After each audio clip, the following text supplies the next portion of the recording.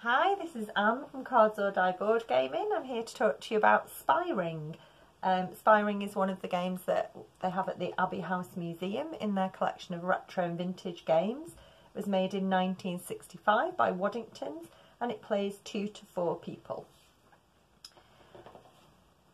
The objective of the game is to find all four of your secrets, which are hidden in safes in the embassies on the board. There are 16 different embassies and each one contains a secret. When there are none left in the embassies, then the game ends. Your other objective is to spell out code words using the secret cards that you collect during the game. The cards are worth one point each at the end of the game, unless you've spelt out a code name and it shows you the different code names for different countries, all of which are fish but in different languages. And um, for instance, if I was to collect the cards that spelt fish in Russian, which is Ryba, then uh, I would get four bonus points at the end of the game. Um, so yeah, your main aim is to collect secrets from the embassies and you can do that in one of four ways you can enter the embassy with your spies. So you can come into the embassy or you can radio your contact. Each spy has a contact. Or you can move next to another spy. So if a spy is in the street, you can move next to them and steal from them that way. Or you can spot other vulnerable spies and I'll explain that in a moment. The entering the embassy and moving next to spies are fairly straightforward. You roll the dice and you move your spy.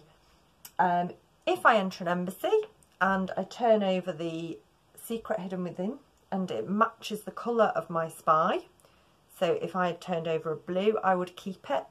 And I'm trying to collect all four of my colour. If it's a different colour, I can replace it either in the embassy that I've been in or I can pop it in another embassy if there's a space for it. Um, and again, moving next to a spy is just by rolling the dice. The other thing that I can do is establish radio contact with my contact. So to do that, I would need to roll a one. So, and then I would take my spy and I would insert the aerial inside his hat so that he can get a wireless connection with the contact. Once you've got your aerial in, you are vulnerable, which means that you can be spotted. So you get another roll of the dice, which allows you hopefully to hide. You can hide in these areas where you're shielded by the bushes. No one can move through the bushes and no one can see through the bushes. Um, and then I can either examine secret that my contact is guarding or I can claim two secret cards.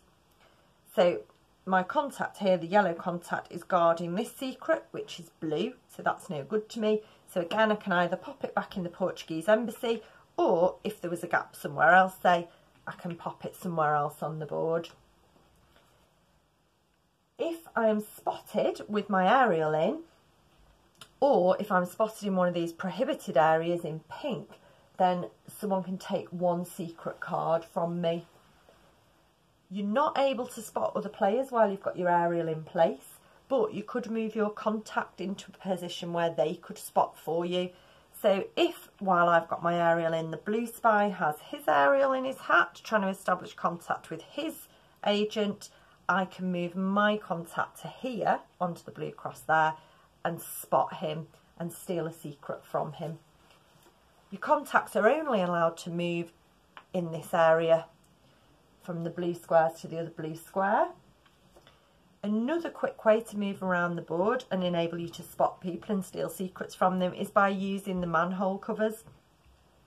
So if this spy wants to come out here, they might move one, two, three, takes them to that one, and four takes them to there where they can spot my yellow spy there and steal a card from them.